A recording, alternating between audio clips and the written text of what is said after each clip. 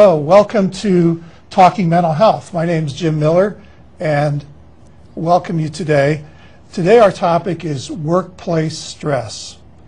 And my co-host today is Dr. Matt Schellenberger to my far left. And our guest is Krista Boyer. Um, she's a pre-doctoral candidate. She's a psychotherapist and um, she's done some research and some work in the area of workplace stress. And we want to welcome you, and Matt, we welcome you. Um, Krista, you want to get us started?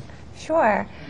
I guess we'll start out by defining workplace stress. And it's often thought of as the harmful physical or emotional responses that occur whenever there's a conflict between workplace demands and the employee's control over those demands. So as the demands increase and the employee's control decreases, the stress goes up as well. Okay, Okay?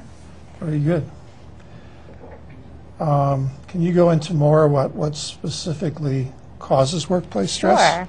There's a variety of things that can cause workplace stress. Um, excessive workload, feeling undervalued at the workplace, deadlines, having to take on other employees' work, uh, a lack of support from management or coworkers, long hours, having to take work home with you at the end of the day. Um, specific working conditions can cause stress, temperature, noise levels, not having an individual workspace or a private workspace when needed. Um, working relationships can cause a lot of stress, relationships with managers, coworkers, even customers or clients. Um, and even career development issues. If there's a lack of fit between the employee and their job or their role in the organization, a lack of career development opportunities in the organization, um, and maybe if there's not a lot of job satisfaction, that can cause a lot of stress. Okay. Mm-hmm. Well, you know, in my practice, I've noticed, I think I've noticed more workplace Mm-hmm. stress, and uh, some of it is due to the economy. Mm-hmm. Um, Specifically, people are worried about getting laid off Mm-hmm. or getting fired, or, again, taking on more and more responsibility because other people are laid off Mm-hmm. or fired. Can you speak any more about the the economy and Sure. and workplace stress? It seems as if the economy has just magnified all of the stressors that I mentioned. And I also want to point out that stress doesn't always have to come from the workplace, it can also come from home. So if somebody is already stressed out because of their home situation or they don't have a lot of internal control over their stress, then it, it makes it a lot more difficult to, to deal with the stressors brought on by the economy. So people who might not have been stressed out before are even more stressed. And I think a a lot of people that I'm working with are reporting they're having to do the same amount of work but getting paid less. Um, there's salary freezes going on right now, so employees aren't able to look forward to getting a raise each time at, at the end of each fiscal year. Um, there's there's a lot of limited career mobility right now, a, a lot less room for growth. Um, people who are stressed out, a lot of the times I'm hearing clients come in and saying they're very stressed, but they're kind of giving up and saying, I can't look anywhere else. So on top of the stress is the hopelessness. It's Yeah. it, it, it, a lot of feeling stuck. That's what I'm hearing a lot of, um, and helplessness in response to stressors and response to career mobility. Right. Uh, Going back to stress from home or personal lives, I often have people, in fact, I had a, a man yesterday who came in for the first time, uh, a recent breakup of his relationship, which wasn't his idea. And I can't concentrate at work, he says, I can't, I can't focus, mm-hmm. there's things I have to do, I have to mm-hmm. be creative, I have to be this. And now there's stress that he's, he's not performing. Mm-hmm. You know, Right. so one feeds the other, and I'm sure it goes the other way too, the workplace definitely. stress. You take it home, um, the old song, you always hurt the one you love. So you take that stuff home, you can't really maybe go off on the boss Yeah. because you're worried about your Right. job, so you take it out somewhere else. Mm-hmm. Mm-hmm. And when you bring up the, the home piece, whenever mm-hmm. you're thinking about family, um, the American Psychological Association actually just recently did a Stress in America survey. And what they found was that about 69% of workers say that their stress doesn't impact their adolescents, whereas 12% of the adolescents reported no stress. So there's a big imbalance. They're Yeah. kids are definitely taking on the stress of their parents. And that's a, a really big issue because when children are developing, they're developing their coping skills. So if they're taking on stress, this is stuff that they're going to learn and take into the workforce and take back to school with them. Right, Mm-hmm. right. Uh, Matt, whenever you'd like to chime in. Well, there's no doubt that uh, workplace stress is a major issue uh, today, and, and I think that the the focus definitely is on the economy, the economic environment. Like you said, Krista, putting uh, stress on a person. Like if they don't like their job in the past, it was easy for me to help people move on to another job. Uh, that's not very obtainable today. It's not realistic for some people, and um, so this this is I'm seeing more and more people come into my private practice uh, with workplace stress related issues, much more so than say 10, 5, 5 or 10 years ago. I, I rarely even heard of it. Um, one of the questions I had for you is is that uh, you know also maybe you did or didn't uh, get on this topic, but you know sexual harassment can be a, a source of workplace stress Definitely. too. Now I've had a, f- a few of those in, in, in the last couple decades. Usually HR takes mm-hmm. care of that, but I, mm-hmm. I some people do come in mm-hmm. to private practice and talk Right, about that. Right. There, there's so many things that can cause workplace stress, and I think that's a big one. If there's sexual harassment or any type of harassment or discrimination, that can create a really host, hostile working environment, and that can be really hard to deal with. And when we talked a little bit about the causes of stress, stress, I think it's important to remember that it, there can be a lot of different factors that cause it, and all the factors are unique to each person and, and unique to their coping style. So, what might be stressful for one person might not be for another. Mm-hmm. And one thing, one one stressor actually can cause stress in a whole a whole work environment because stress can affect relationships. Mm-hmm. So if one employee is stressed, that's going to stress out the rest of, of the employees or trickle down to the customers or up to upper management. And vice versa is Mm-hmm. the true, true too, in that you can have a very positive person in the work environment and take a negative work Mm-hmm. environment and, and uplift it. And I've seen that happen many Mm-hmm. times too. Yeah. Well, that has to, the employer has to be involved, right? Well, we have this pyramid uh, kind of facade in our heads where it starts at the top and trickles down to the bottom, and that may be true in many cases. Um, and I do think that that can be true in regards to attitude and positive environment. Uh, managers, you know, uh, can take the bull by the horn, so to speak, and, and present a more positive and, hos- and hospitable type of work environment. And uh, Okay. Well, one of the things I've, I've seen when I see managers or uh, for companies, um, some of their stress is, of course, production goals have gone up.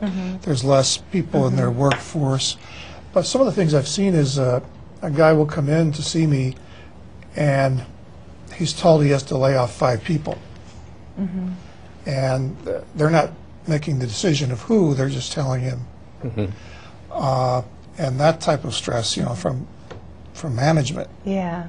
And uh, even if you're top management and you realize that, uh, you know, you have to cut some positions, uh, that's causing a lot of Right. because uh, you know managers, human beings, do have feelings also, and you know they have to make these decisions, and it's uh, really tough that Yeah, way too. is. Not just worrying about getting fired, but having to fire or lay off people. Mm-hmm.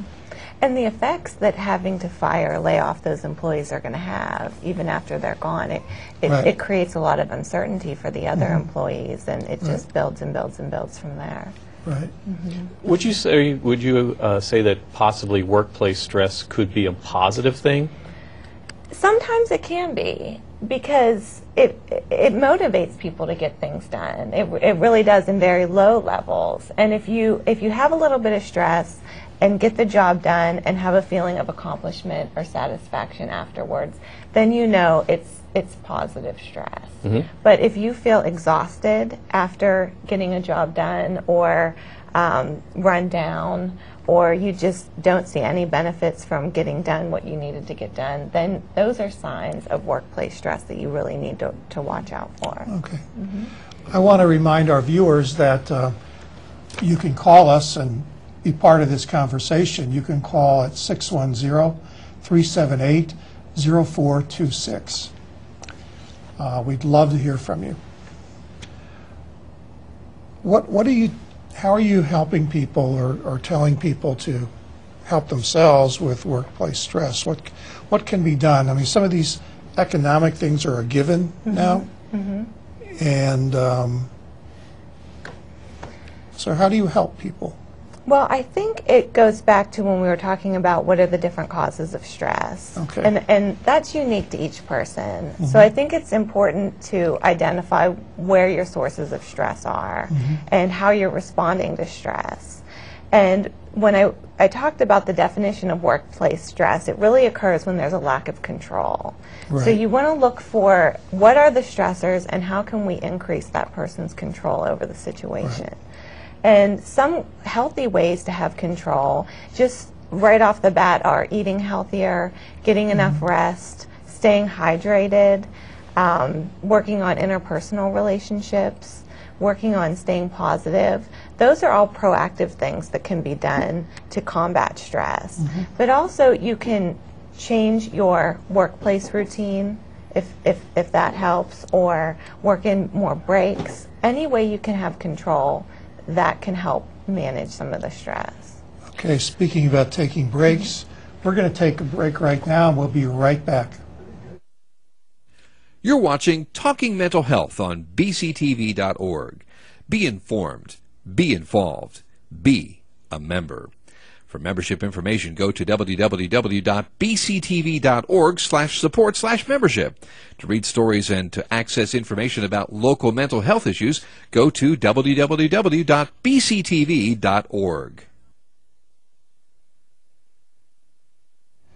Hello, we're back.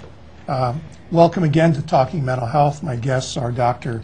Matt Schellenberger and Krista Boyer, who is a uh, psychotherapist. Um, She has her MBA, and she's a pre-doctoral candidate also. Um, What do you do in your spare time? That's a joke.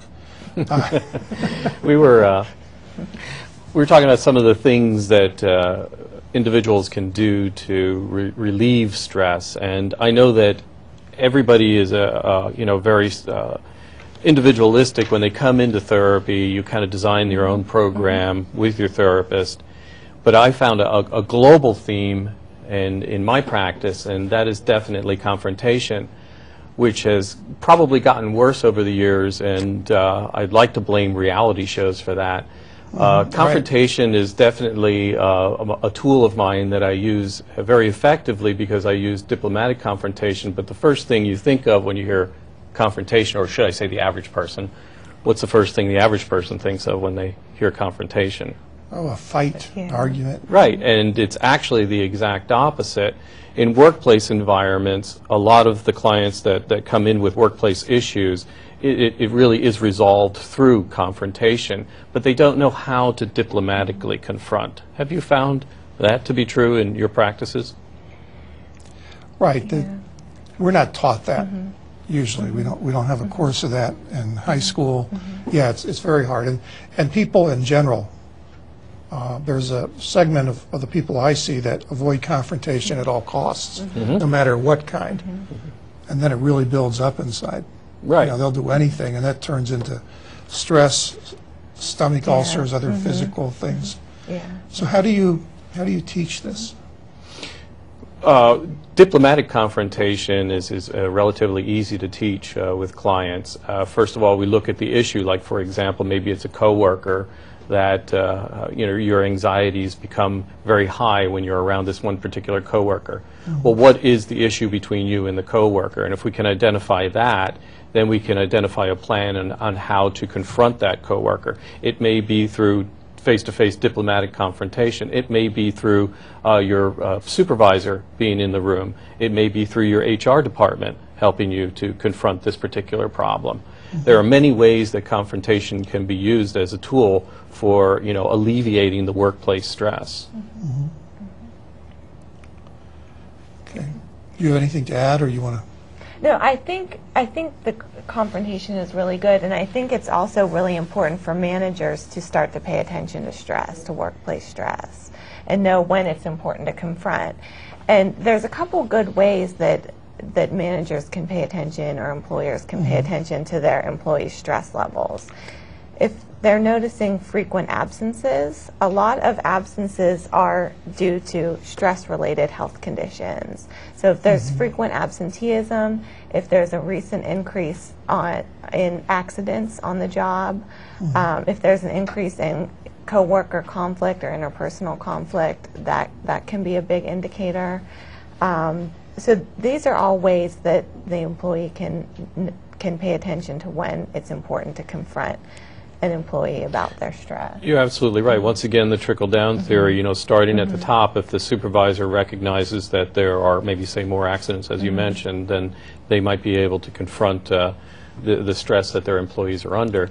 In the, in the Reading Eagle, uh, I think it was just last week, there was an article about, um, I believe it was Target, who actually has a social worker on the floor at, at uh, one of their stores, or many of their stores. I think she floats from one store to another, to help her employees deal with the stress that we're, we're under today. And I thought that was a wonderful idea. Um, I know the, the, some higher-end uh, companies do have their own psychologists, uh, but uh, this was a specific social worker that floated from uh, target to target and uh, helped uh, the employees on the floor. I thought that was, a, yeah, Yeah, that's missed- kind of I like that. Yeah, hands-on in vivo therapy, you know? Yeah. yeah, yeah. that's amazing. I, I wanted to mention too. I, I think it's really good for employees to take adva- employers to take advantage of performance reviews. That would be a great time to to talk to employees about their stress levels. Mm-hmm. And whenever employers do that, they want to make sure they don't lead their their employees and say, "Are you stressed?" A better way would be to ask. Can you name three things that you really like about work and maybe three things that could be changed or stress you out a little bit? And that can help employers really hone in on what needs to be mm-hmm. changed in the workplace. Right. Mm-hmm.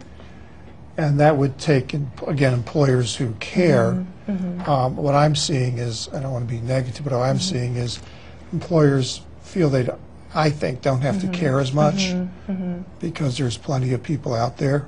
Hmm. Um, I mean, sure, that's short-sighted and, and everything else, and I'm, I don't want to paint every employer that way, but there is some of that Yeah. where, where uh, employers allow harassment, where they allow, uh, you know, certain behaviors, either because it's always been that way or, or whatever. And I think you're right. I think that, that there is an attitude out there, I, I, not an overwhelming amount, but if employers were aware of some of the statistics, I think they would change their tune about dealing with workplace stress because 40% of job turnover is actually due to stress. And it costs anywhere between 100 to 120 percent of the position when a position needs to be replaced. That's the cost to the company. So staff retention is really important. And the saying a pa- a- an ounce of prevention is worth a pound of the cure really is important here. Right. A little bit of of focus on stress reduction in the workplace can really save the company in in a lot of costs. And that's for a company who's mm-hmm. looking forward and looking mm-hmm. ahead mm-hmm. rather than Right. looking at today. Right. Right. Right. Mm-hmm. I, I totally agree. The, uh, the turnover can cost companies mm-hmm. much more mm-hmm. money than some simple adjustments to, in the environment, in the work environment, to adjust for the workplace stress. Uh, my question to you, Krista, is, is that are there certain careers that are more stressful statistically than others? Yeah, actually, interestingly, one of the top most stressful careers is IT. And if you think about the, the, an IT person's job, they're constantly dealing with complaints all day long. They come into work with a long list of, I need to help help this person do this and fix this technical problem. And sometimes, uh, the research I read, sometimes they're even just helping people turn on their computer or turn on the screen. They're very simple things that, that is taking up a lot of time. So they, they're walking into work with a lot of stress. Um, also, healthcare is overwhelmingly stressed out. And uh, one interesting thing to remember when you're dealing with a healthcare professional is part of their role identity is helping other people.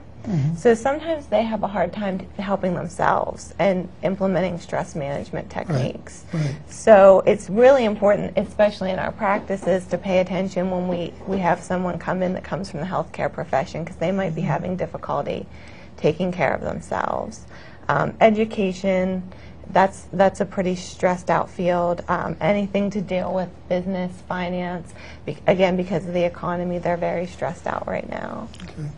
I could see the IT position that you mm-hmm. mentioned because uh, basically what they're doing is they're stomping out mm-hmm. fires all Yeah. day. Mm-hmm. It never seems to end, and a lot of clients that have come on that come to me that had IT positions, you know, pretty much describe that as a whirlwind of activities, 10 hours a day, and it never stops. And uh, that can be extremely stressful.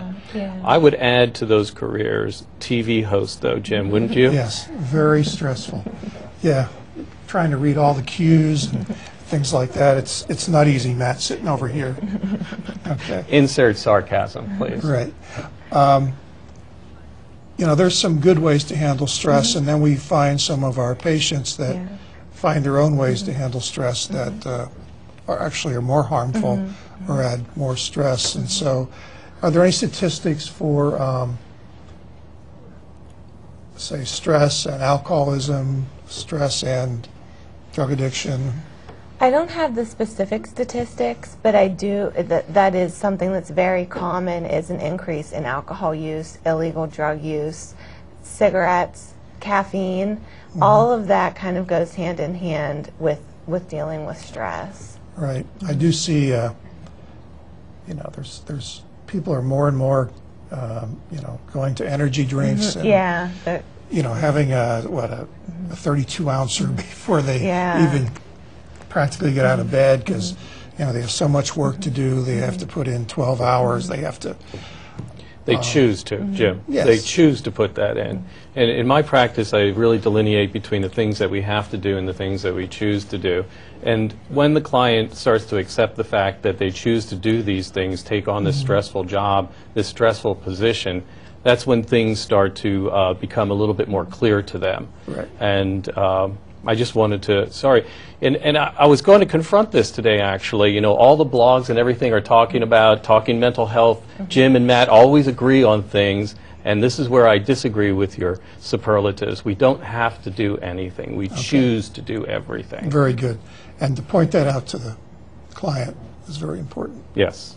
Uh, do we have some, uh, some Yeah, I just Visuals? wanted to go to the the first visual real quick.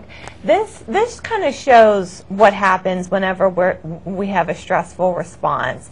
It begins with a stressor, and our hypothalamus kind of kicks in with the fight or flight, and that's kind of evolutionary. That is what kept us safe. Um, what kept our ancestors safe whenever they were faced with some type of danger. And our brain actually can't differentiate between a physical or a psychological danger. So when we feel psychological stress, often this is how our body responds. So pupils dilate, heart rate increases. You can read through all of those things. But in looking at that, you can see how harmful it is when we're exposed to long term stress. If you're feeling that way all the time, it can really take a toll on your body. Mm-hmm. And then if you go to the next slide, you can see um, some of the symptoms of stress. There's co- different cognitive symptoms. Impaired memory, concentration, poor judgment can occur, pessimistic thinking, racing thoughts. Um, the emotional signs are there as well. Um, I don't know if we can see. Thank you. The, there, there's some physical things that, that occur muscle aches, headaches, chest pains, nausea. Um, we mentioned some of these behavioral changes that can happen too. But again, long-term exposure, this isn't healthy to the body, and mm-hmm. ex- long-term exposure to stress is linked to a, a whole host of different types of long-term medical mm-hmm. conditions. Right. Um, One of the things is, like you said, I, you, sometimes we have to teach acceptance that, that mm-hmm. this is how it is right now.